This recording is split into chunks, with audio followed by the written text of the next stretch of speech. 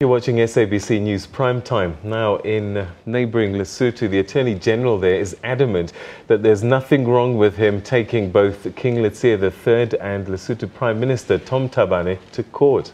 This after the King and the Prime Minister continued with the swearing in of the appeal court president.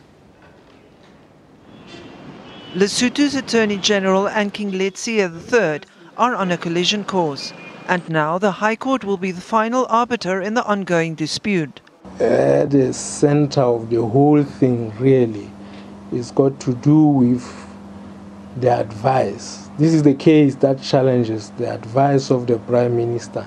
Not so much, the concern is not so much with uh, what the king did or did not do, because as you know, he would be doing things through his Prime Minister.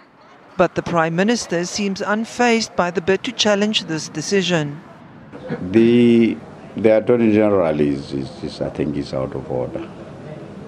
I don't think, I think he's exceeding his, his powers and his authority. And he, he will have to be called to order. Meanwhile, the facilitator for Lesotho, Deputy President Cyril Ramaphosa, has welcomed the recent deployment of the SADC Electoral Advisory Council to Maseru as part of preparations for elections to be held in the kingdom on the 28th of this month. Ramaphosa says the arrival of the council will add impetus to current preparations and efforts by the Lesotho Electoral Commission to deliver credible, free and fair elections. The election date, as proclaimed by King Letsie, was part of the Maseru Facilitation Accord signed by all the Lesotho's political parties.